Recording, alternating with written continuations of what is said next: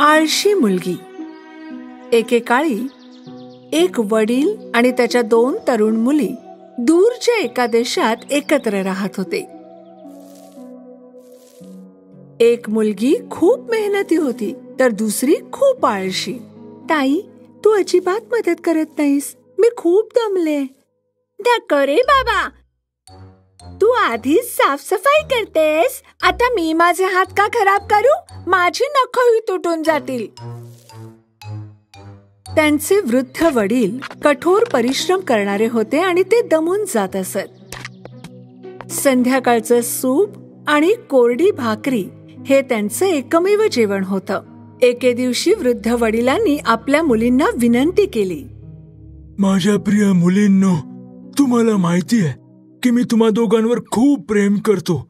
मी विचार करत होतो तुम्ही दोघे आता प्रौढ आहात आणि आता तुम्ही अधिक जबाबदारी घेण्यालायक झाला आहात. तुम्हा दोघांनी नोकरी शोधून काम करावं अशी माझी इच्छा आहे.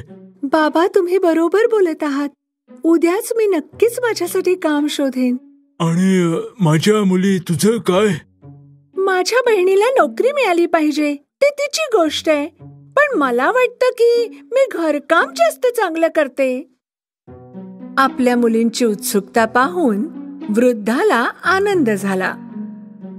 दुसऱ्या दिवशी मेहनती मुलगी नोकरी शोधण्यासाठी घरातून निघाली असताना तिचे वडील तिच्याजवळ आले. माझ्या प्रिय मुली मला तुला एक सल्ला द्यायचा आहे. जर कधी तुला कोणी मदत मागितली तर त्याला कधीही नकार देऊ नकोस. नेहमी मेहनत कर. तुझ्या कामावर प्रेम कर आणि तुला दिलेलं काम मन लावून पूर्ण कर. धन्यवाद बाबा. तुमचा सल्ला मी कधीही विसरणार नाही. माझी लाडकी मुलगी ती. कष्टाळू मुलगी तिची नोकरी शोधण्यासाठी निघाली. तर घरची कामं करीन असं सांगणाऱ्या आळशी मुलीने काहीच केलं नाही. घर दिवसेंदिवस अस्वच्छ आणि खराब होत चाललं होतं. आणखी आणखी खराब. कष्टाळू मुलगी अनेक दिवस चालत फिरत होती पण तिला कोणतंच काम सापडलं नाही. थोड्या वेळाने कष्टाळू मुलीला वाळलेल्या फांद्या आणि मुळे असलेलं झाड दिसलं. अग बाळा तू माझ्या कोरड्या फांद्या स्वच्छ करून माझ्या मुळांना पाणी देऊ शकशील का? मेहनती मुलीने तिच्या तळहातांना जखम होईपर्यंत झाडांच्या सर्व कोरड्या फांद्या साफ केल्या आणि तिच्या प्यायच्या पाण्याने मुळांना पाणी सुद्धा दिलं. धन्यवाद माझ्या बाळा. पण आता तुझ्याकडे पाणी उरलं नसेल ना? काही हरकत नाही. तुम्हाला मदतीची गरज होती आणि मी ती केली. मी स्वतःसाठी पाणी घेऊ शकते. मेहनती मुलगी तिच्या वाटेने चालत राहिली. पुढे तिला तुटलेली आणि तडे गेलेली चूल दिसली. अग सुंदर तरुणी तू मला दुरुस्त करशील का? जेणेकरून मी चांगली दिसेन? मेहनती मुलीने तिच्याजवळ मुठभर माती घेतली आणि चुलीवरील सर्व भेगा बुजवल्या. धन्यवाद तरुण मुली पण माझ्यामुळे तू खूप अस्वच्छ झालीयस. काही हरकत नाही. कपड्यांना काय महत्त्व द्यायचं? तुम्हाला मदत हवी होती ती मी केली. मेहनती मुलगी ती नवीन दिसणारी चूल मागे टाकून तिच्या वाटेनं निघून गेली. थोड्या वेळाने एक सुंदर कोकरू तिला दिसलं पण ते काळ होत. डोक्यापासून पायापर्यंत कोळशासारखं काळं. हॅलो तरुण मुली.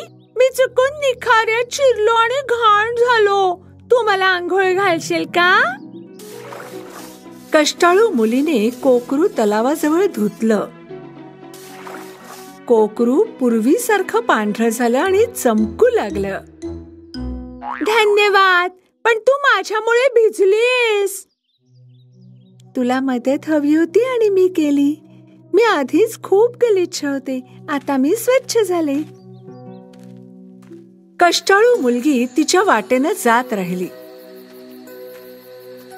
अंधार पडला तेव्हा तिला एक सुंदर घर दिसलं.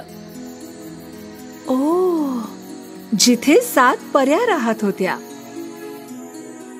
मेहनती मुलगी आत आली. हॅलो? मी तुमच्या घरी परवानगीशिवाय आल्याबद्दल माफी मागते. मी एक तरुण मुलगी आहे. मी कामाच्या शोधात आहे. तुला हवं तर तू इथे काम करू शकतेस तरुणी. आमच्या घरात सात खोल्या आहेत. तुला रोज फक्त सहा खोल्या स्वच्छ करायच्या आहेत. पण सातव्या खोलीत चुकूनही जाऊ नकोस हा?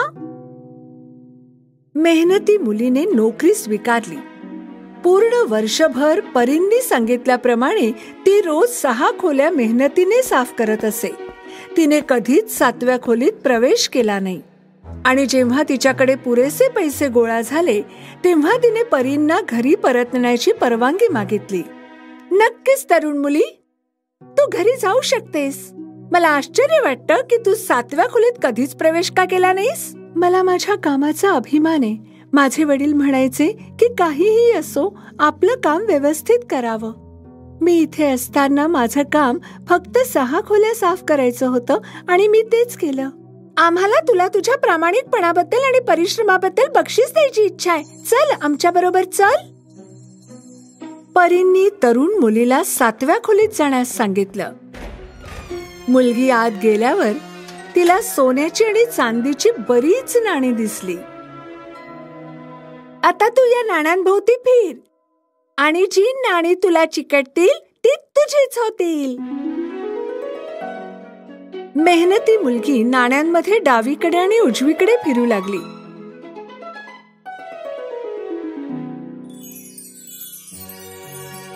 ती अगदी स्टार सारखी दिसत होती ज्यावर पैसे चिकटलेले होते. मग मेहनती मुलगी पर्यांना सोडून घरी परतू लागली. वाटेत तिला कोकरू भेटलं ज्याला तिने आंघोळ घातली होती. कोकरू मोत्यांनी मढलेलं होतं. मी तुझी मदत विसरलो नाही तरुण मुली. घे हवे तेवढे मोती घे. मेहनती मुलीने कोकरूचे आभार मानले आणि तिचे हात आणि मान मोत्यांनी झाकून घेतली आणि तिच्या वाटेने चालू लागली. चालता चालता ती त्या चुलीजवळ पोहोचली जिला तिने जाताना दुरुस्त केलं होतं. तू मला जी मदत केलीस ती मी विसरली नाही तरुण मुली. घे माझ्या उपदार भाकरी आणि केक तुझेच आहेत. मेहनती मुलीने चुलीने दिलेल्या काही भाकरी खाल्ल्या आणि काही घरी नेण्यासाठी सोबत घेतल्या आणि ती आपल्या वाटेला लागली. थोडं पुढे गेल्यावर तिला ते झाड दिसलं. ज्याच्या फांद्या फळांनी झाकल्या होत्या.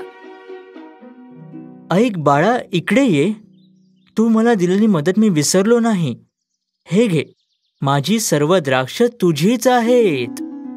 मेहनती मुलीने आभार मानले आणि झाडाचा निरोप घेऊन जाऊ लागली. खूप खूप धन्यवाद. किती फलदायी अनुभव.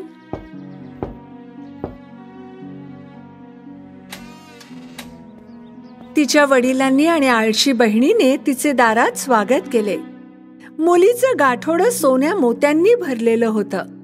आपली बहीण इतकी श्रीमंत झाली हे पाहून आळशी बहिणीला खूप हेवा वाटला. ती नाणी बघ मला नोकरी मिळवण्यासाठी श्रीमंत कुटुंब शोधायला हवं. जर माझ्या बहिणीकडे मोती असतील तर मला पन्ना मिळेल. आळशी मुलीने तिच्या वडिलांना सांगितलं की ती नोकरी शोधण्यासाठी घर सोडणार आहे. अ, ठीक आहे माझ्या मुली पण तुला घरी काम करता येत नाही. मग तुला बाहेर कसं काम मिळेल. वडिलांचं बोलणं पूर्ण होण्याआधीच आळशी मुलगी निघून गेली. ती रात्रंदिवस चालत होती. थोडं पुढे गेल्यावर सुकलेल्या फांद्या असलेलं झाड तिला दिसलं. झाडाने मुलीला मदत मागितली. कशी आहेस तरुण मुली? तू मला मदत करशील का? मी या उन्हात तुला मदत करू शकत नाही. माझे केस खराब होतील. बाय. हं. आळशी मुलगी पुढे गेली. थोडं पुढे गेल्यावर एक तडा गेलेली आणि तुटलेली चूल तिला दिसली. चुलीने तिच्याकडे मदत मागितली. आह, मी माझे पातळ आणि नाजूक हात तुझ्यासाठी घाण करू शकत नाही. माझं नेल पॉलिश खराब होईल. बाय. आळशी मुलीने चुलीलाही मदत केली नाही. मग तिला काळ्या कोळशासारखं कोकरू दिसलं. कोकरूनेही तिला आंघोळ घालायला सांगितली. शी! माझ्या मार्गातून बाजूला हो काळुंद्र्या! आळशी मुलगी पळून गेली. काय आळशी कोकरू आहे? स्वतःला धुता येत नाही. आणि आळशी मुलगी लवकरच एका मोठ्या घराजवळ आली. आळशी मुलीने याचा फायदा घेतला आणि घराच्या मालक असलेल्या सात परींकडे काम मागितलं. मुख्य परीने तिला वर्षभर राहून फक्त सहा खोल्या स्वच्छ करायला सांगितल्या. तरुणी विसरू नकोस. तू कधीही सातव्या खोलीत प्रवेश करायचा नाहीस. आळशी मुलीने अनेक महिने मनाविरुद्ध सहा खोल्या साफ केल्या. पण एक दिवस तिने उत्सुकतेने सातव्या खोलीत प्रवेश केलाच. सोन्या चांदीच्या नाण्यांऐवजी आतमध्ये मधमाशा आणि वटवाघळ होती. मधमाशांनी आळशी मुलीला अशा प्रकारे डंख मारला की तिला सर्वत्र जखमा झाल्या. ती खूप दुखावली होती. मुलगी लगेच तिथून निघून घराकडे पळू लागली. ती धावत असताना तिला कोकरू दिसलं. ज्याच्या मदतीला तिने नकार दिला होता. कोकरू मोत्यांनी मडलेलं होतं. मुलीला काही मोती घेण्यासाठी कोकरू पकडायचं होतं पण कोकरू तिच्यापासून पळून गेलं. मुलगी चालत राहिली. ती खूप दमली होती. त्याच क्षणी तिला चूल दिसली. तिने मदतीची विनंती नाकारली होती. चुलीवर ताज्या उबदार भाकरी होत्या. जेव्हा मुलगी भाकरीचा तुकडा घ्यायला गेली तेव्हा चूल गरम झाली आणि आळशी मुलीचे हात भाजले. जेव्हा आळशी मुलगी तिथून पळून गेली तेव्हा ती त्या झाडाजवळ आली ज्याला तिने मदत नाकारली होती. झाडाच्या फांद्यांवर फळांचे गुच्छ होते.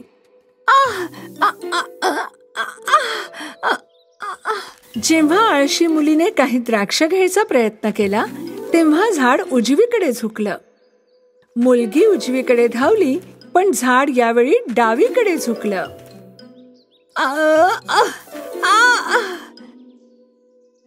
धावपळ करून दमून आळशी मुलीने शेवटी फळं खायचा विचारच सोडून दिला. ती पूर्ण दोन दिवस न थांबता चालत राहिली आणि शेवटी घरी पोहोचली. तिच्या वडिलांनी आणि बहिणीने तिला घाणेरड्या कपड्यांमध्ये आणि जखमी झालेल्या अवस्थेत घरी परतताना पाहिलं आणि त्यांना खूप आश्चर्य वाटलं. आळशी मुलीने आपल्यासोबत घडलेला प्रकार अतिशय खेदाने सांगितला.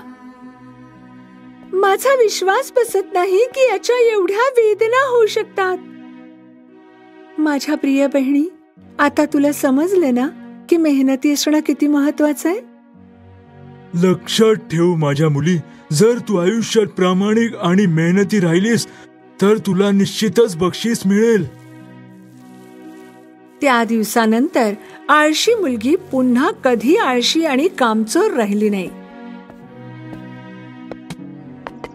दोघी बहिणींनी कठोर परिश्रम केलं आणि त्यांना चांगलं फळ मिळालं.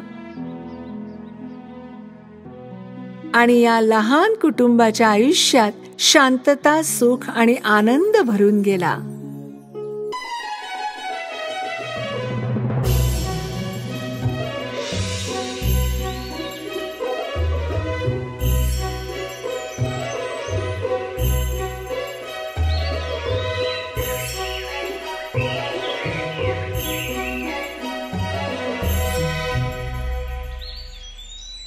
एके काळची गोष्ट आहे. दूरवर दोन पक्के मित्र होते जे आजूबाजूच्या शहरात राहत होते. त्यांचे नाव होते के आणि ग्रेडा. के आणि ग्रेडाने आपल्या अंगणात त्यांच्या प्रेमाची निशाणी म्हणून गुलाबाचे झाड लावले होते.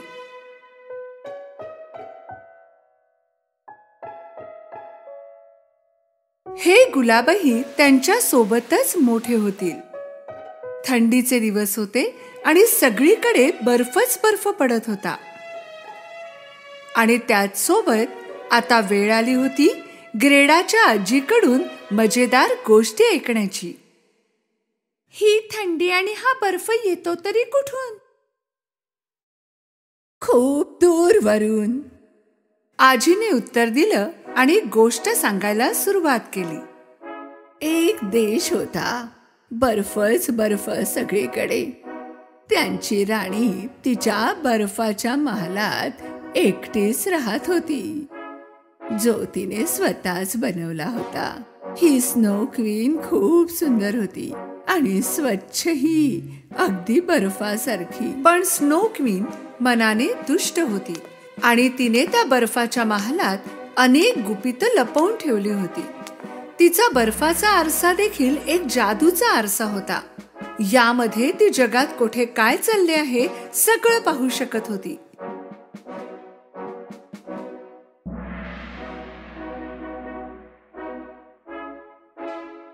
तेव्हाच ग्रेडाला असं वाटलं की स्नो क्वीन खिडकीमधून त्यांना पाहते. के? आजी ती पहा स्नो क्वीन खिडकीमध्ये. अगं एखादं थंडीमुळे कुडकुडणारं मांजर असेल. आजी ती स्नो क्वीन इथे येऊ शकते का? येऊ दे. मी तिला पटकन चिमणीमध्ये टाकून देईन. वितळून पाणी होऊन जाईल त्या वॉटर क्वीनचं आपल्या बर्फाच्या आरशात स्नो क्वीनने पाहिलं की के काय बोलत होता.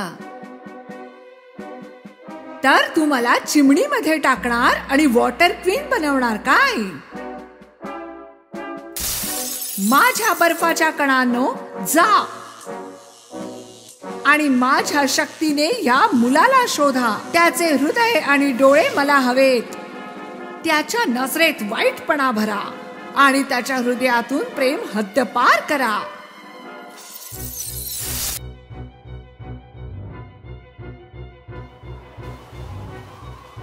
हळूहळू एक बर्फाचं वादळ ग्रेडाच्या घराजवळ जोर धरू लागलं. बर्फाचे कण त्याच्याकडे सरकत होते. बाहेर काय होतंय हे पाहायला केने खिडकी उघडली. तेव्हाच ग्रेडा ओरडली के? पण उशीर झाला होता. हा माझे डोळे काहीतरी गेलं माझ्या डोळ्यात. आई ग इकडे सुद्धा लागलं. आणि तेव्हाच बर्फाच्या कणांनी स्नो क्वीनचं काम करून टाकलं होतं. त्याच्या डोळ्यांना आणि हृदयाला जखम झाली होती आणि के बदलला होता. ग्रेडाने त्याला विचारलं की काय झालं? तर तो तिच्यावरच खेकसला काही नाही झालं. मी बरा आहे. मला त्रास देऊ नकोस. केने ग्रेडाशी उद्धटपणे बोलण्याची ही पहिलीच वेळ होती. ग्रेडाला काही कळत नव्हतं की तो असा का वागू लागलाय? के सकाळी सुद्धा उद्धटपणेच वागला. जेव्हा तो त्याचे स्लेट काढत होता. ग्रेडाने विचारलं की कुठे जातोयस? तो तिच्यावर पुन्हा भडकला आणि आपल्या स्लेटवर बसून निघून गेला. ग्रेडा त्याच्यापर्यंत पोहोचूच शकली नाही. अचानक त्याच्यासमोर स्नो क्वीन आली आणि के तिच्यामागे जाऊ लागला. ग्रेडा काहीच करू शकली नाही. कारण ते अदृश्य झाले. स्नो क्वीन त्याला तिच्या बर्फाच्या महालात घेऊन जात होती. क्रीडा खिडकीत बसून त्याची वाट पाहायची. दिवस महिने उलटले आणि थंडीचे दिवसही गेले. पण के आला नाही.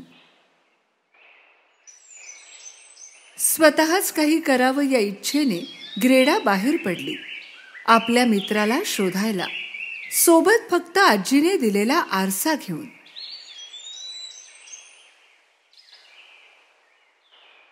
बहादूर ग्रेडा रस्त्यात प्रत्येकाला विचारत होती की कोणी केला पाहिलं आहे का? फिरत फिरत ती नदीजवळ पोहोचली. जवळपास तिला कोणीच दिसलं नाही जे तिला के बद्दल सांगू शकेल. तिने नदीलाही विचारलं पण काही उत्तर आलं नाही.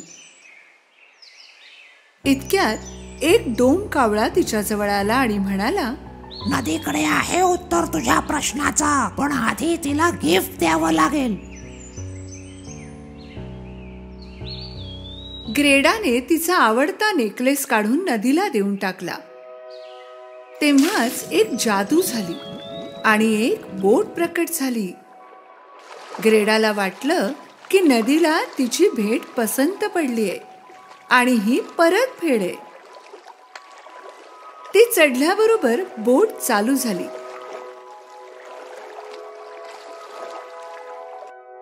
बोट किनाऱ्यावर जाऊन थांबली. तिथे एक गुप्त बाग होती ज्यात फुलच फुलं होती रंगीबिरंगी.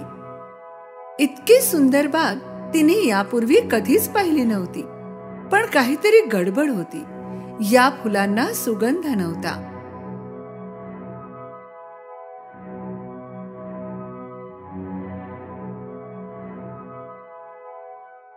ग्रेडाच्या दुसऱ्या बाजूने एक बाई तिच्याकडे येत होती.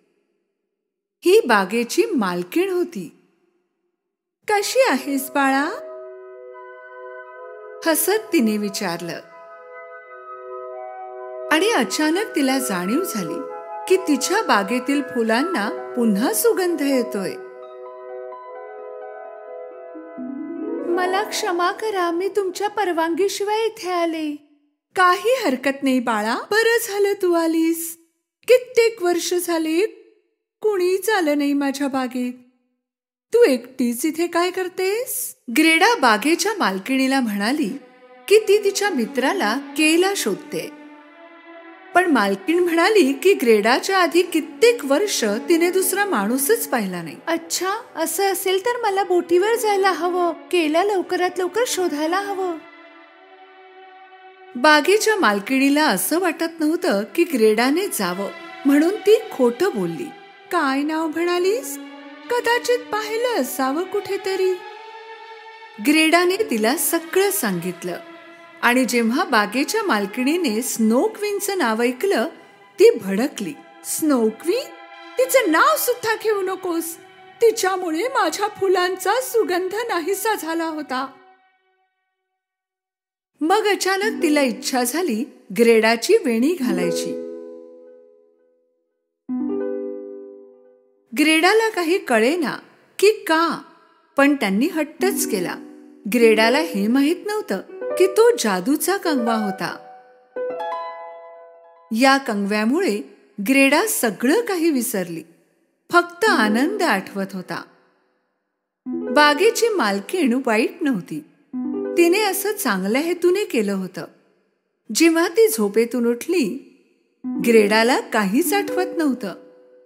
ती इथे कशी आली का आली काहीच नाही.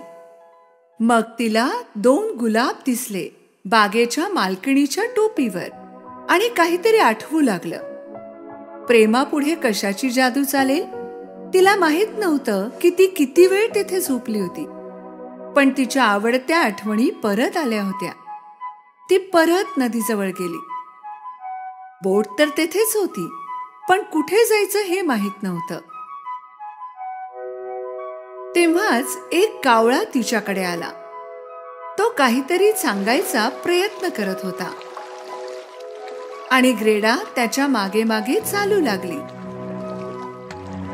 ते पोहोचले बर्फाच्या समुद्रात. तेथेच एका बोटीवर कावळा जाऊन बसला. ग्रेडा हळूच त्या बोटीपर्यंत पोहोचली.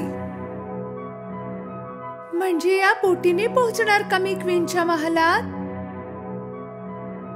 अचानक काही पायरेट्स तेथे आले.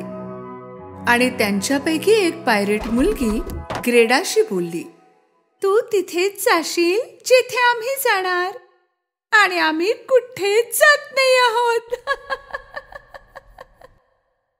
त्याच वेळी स्नो क्वीन प्रयत्न करत होती की केने त्याचा भूतकाळ विसरावा. बरच काही तो विसरला होता. पण ग्रेडा काही त्याच्या मनातून जात नव्हती. लवकरच तुझं हृदयही थंड करून टाकेल मग काहीच लक्षात राहणार नाही. पायरेटला जेव्हा ग्रेडाकडून ग्रेडा आणि केची कहाणी कळली ती म्हणाली की त्याला विसरून जा कारण त्याचं बाहेर येणं अशक्य आहे. माझा खास मित्र आहे की. मी शोधूनच काढेन. पायरेट मुलीला हा हट्ट विचित्रच वाटत होता. खरं तर तिला वाटत होतं की तिने तिच्यासोबतच राहावं तिची मैत्रीण बनून. पण ग्रेडा खूप हट्टी होती. त्याला तर मला वाचवायचंच आहे. तिला कुणीच मैत्रीण नाही त्यामुळे पायरेट मुलीला ग्रेडाचा हा हट्ट खूप आवडला. आणि ती तिच्यासोबत जाऊ लागली. दुसऱ्या दिवशी ती तिच्यासाठी एक रेंडियर घेऊन आली. ही संपूर्ण स्नो राज्यातील गतिशील रेंडियर होती आणि ती ग्रेडाला रस्ता दाखवणार होती.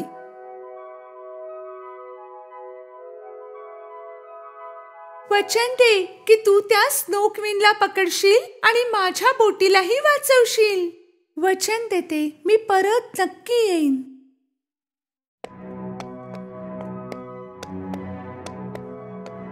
रेनडिअरवर बसून ग्रेडा जात होती.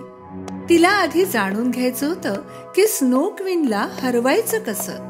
आणि रेनडिअर सुद्धा सांगणार होती. खूप चालल्यावर ते उत्तर टोकाला पोहोचले. तेथे त्यांना एक म्हातारा माणूस भेटला. म्हणजे तू तो आरसा घेऊन आलीसच हो ना? ग्रेडाला काहीच समजलं नाही. आणि त्यांना आरशाबद्दल कसं माहीत? पण तिला हे माहीत होतं की ती योग्य जागी आली आहे. तिने त्यांना तो आरसा दाखवला. म्हणजे मी स्नो क्वीनला यानेच हरवणार. तर जादूचा आरसा आहे. यामध्ये सत्य दिसतं फक्त सत्य. मग ते सत्य भले कुठेही लपलेलं का असेना? हा ते दाखवतो. प्रेमापेक्षा जास्त शक्तिशाली काहीच नसतं. त्यामुळे खरी शक्ती तर तुम्हा सर्वांच्यात आहेच. प्रेमाची शक्ती? त्यांच्यामुळे गेरेडाला माहीत झालं की स्नो क्वीन कोण होती. जर त्याने खरं दाखवलं तर ती तिला हरवू देखील शकते. कारण आधी स्नो क्वीन सुद्धा एक चांगली मुलगी होती. प्रेमाने ओतप्रोत भरलेली जेथेही ती हात लावायची फुले फुलायची. आणि तिच्या हास्यात सूर्याची चमक होती. ती एक खूप आनंदी मुलगी होती. तिचं नाव होतं लायला. पण सगळ्यांना वाटायचं की ती जादूगरीण आहे. म्हणून तिच्यासोबत कुणीच खेळत किंवा बोलत नसे. एकटेपणाने तिचा आनंद हिरावून घेतला. तिला तिच्या आजूबाजूच्या सगळ्या माणसांचा द्वेष वाटू लागला. आणि एक दिवस तिने एक इच्छा व्यक्त केली. जो मला त्रास देईल त्याचा बर्फ बनेल. आणि मग तिने एक बर्फाचा महाल बनवला. सगळ्यांपासून दूर एकटा आनंदापासूनही दूर. ग्रेडा बर्फाच्या महालात पोहोचली. आणि तेथे तिला दिसला के. बर्फाची मूर्ती बनवत असलेला. तू सापडला शेवटी के? तू मला विसरलास? मी ग्रेडा. केने ग्रेडाकडे पाहिलं पण ओळखलं नाही. इथे असलेल्या प्रत्येक वस्तूप्रमाणे त्याचं हृदय देखील बर्फाचं बनलंय. ग्रेडाने तिच्या बोलण्याकडे दुर्लक्ष केलं. सोड याला आता हा माझा आहे.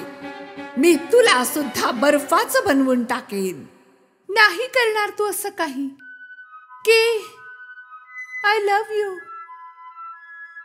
त्याला आठवलं. ग्रेडा हो मला आठवलं.